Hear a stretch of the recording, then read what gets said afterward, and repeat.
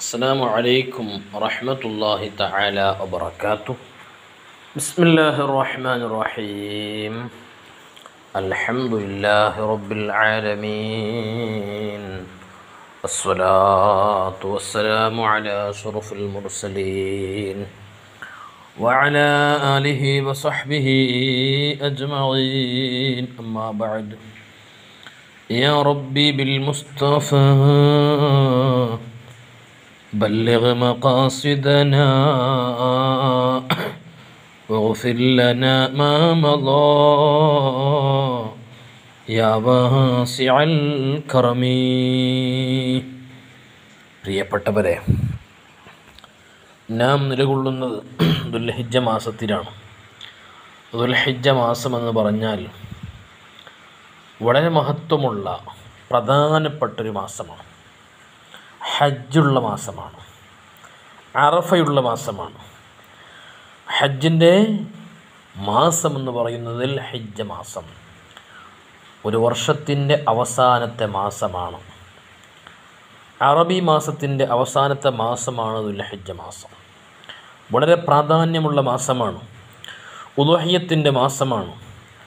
അങ്ങനെ ഒരുപാട് കർമ്മങ്ങൾ ചെയ്യുന്ന മാസമാണ് ദുൽഹജ്ജ മാസം.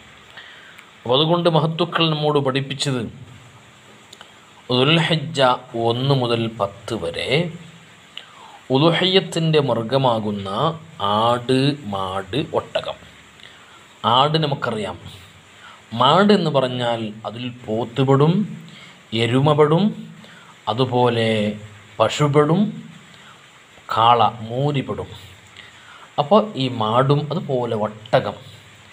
ഇത് ഇതിനെ കണ്ടാൽ അതല്ലെങ്കിൽ അതിന്റെ ശബ്ദം കേട്ടാൽ തക്ബീർ ചൊല്ലൽ സുന്നത്ത് ഉണ്ടെന്ന് പ്രത്യേകമായി മഹത്തുക്കൾ പഠിപ്പിച്ചിട്ടുണ്ട്. അള്ളാഹു അക്ബർ അല്ലാഹു അക്ബർ അല്ലാഹു അക്ബർ. ലാ ഇലാഹ ഇല്ലല്ലാഹു അല്ലാഹു അക്ബർ. അല്ലാഹു അക്ബർ വലില്ലാഹിൽഹംദ് എന്ന് തക്ബീർ ചൊല്ലൽ സുന്നത്തുണ്ട്. അപ്പോൾ തക്ബീർ ചൊല്ലുക. പശുവിനെ കാണുമ്പോൾ അതിന്റെ ശബ്ദം കേൾക്കുമ്പോൾ ആടിനെ കാണുമ്പോൾ അതിന്റെ ശബ്ദം കേൾക്കുമ്പോൾ തക്ബീർ ചൊല്ലുക.